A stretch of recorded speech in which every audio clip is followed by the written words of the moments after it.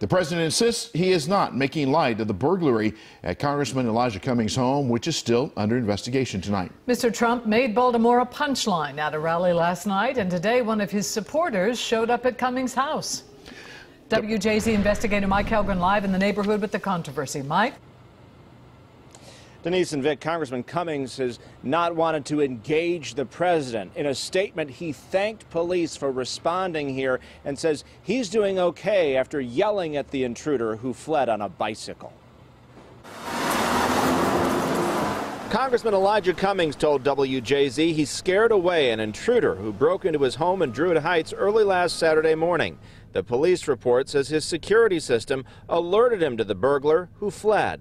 President Trump sounded off on the burglary on Twitter, writing, Really bad news. The Baltimore house of Elijah Cummings was robbed. Too bad. That was really not meant as a wise guy tweet. I mean, his house was robbed, and it came over the news at a certain moment last night. The president's former UN ambassador, Nikki Haley, responded to him with, This is so unnecessary.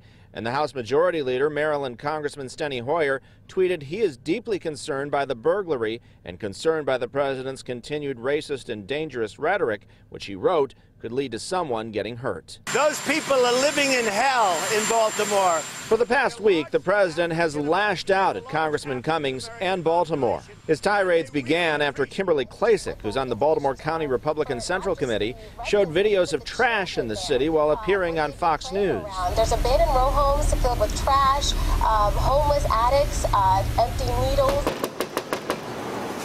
Klacik showed up at Cummings' door Friday. No one answered. She had her camera ready to take more videos of West Baltimore. The president has already shared her images to his 62 million followers. He just had this, you know, spat with Congressman Cummings talking about the border.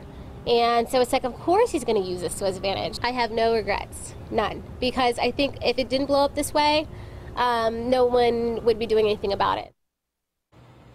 And as for the burglary here, it happened a few hours before the president's initial tweets. And according to the congressman, the intruder did not get inside the residential portion of the home.